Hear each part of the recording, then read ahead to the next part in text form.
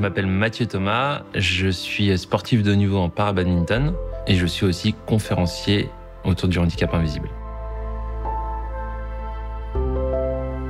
À l'âge de 17 ans, on me diagnostique une tumeur cancéreuse dans le bas-ventre. On m'opère, ce qui va me laisser euh, une paralysie de la cuisse. Le handicap, j'étais pas du tout prêt à vivre ça. J'ai commencé à travailler en tant qu'ingénieur et à l'âge de 30 ans, j'ai décidé que mon handicap, ça serait euh, une force et aussi une chance de pouvoir faire les Jeux paralympiques.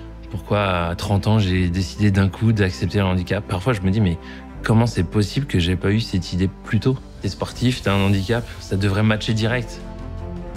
Le handicap fait tellement peur qu'aujourd'hui, la plupart des gens ne veulent pas se mettre cette étiquette de personne en situation de handicap. On est tellement nombreux à avoir cette singularité. Pour moi, une personne en situation de handicap, c'est une personne au contraire euh, tellement forte qu'elle a réussi à s'adapter à cette société qui n'est pas forcément prête à nous recevoir aujourd'hui. L'objectif des conférences, c'est de dire euh, moi j'étais à votre place il n'y a pas si longtemps que ça. Je savais pas que le para-badminton existait. Et là, je suis tombé amoureux. amoureux de ce sport.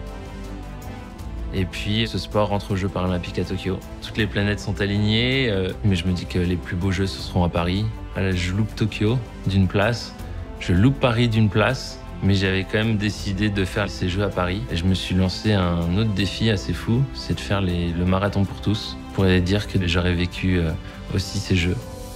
Toute cette résilience aussi qui est là, je me dis en fait, j'ai encore quelque chose d'encore plus grand à aller chercher à atteindre.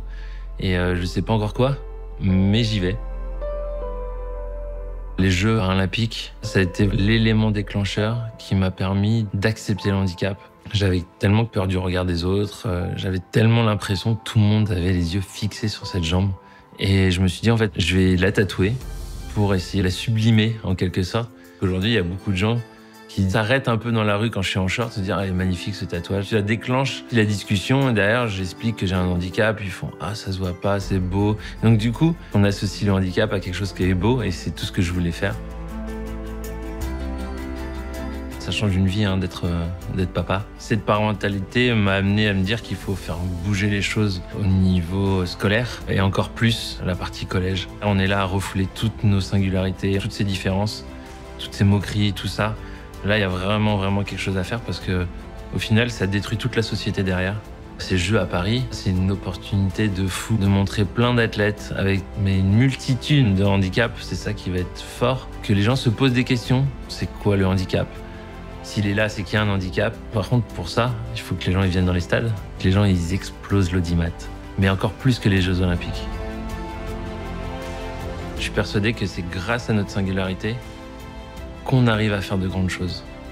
Et que aujourd'hui, si on veut réellement, réellement trouver ce bonheur ou cette plénitude, c'est trouver qui on est réellement dans cette communauté.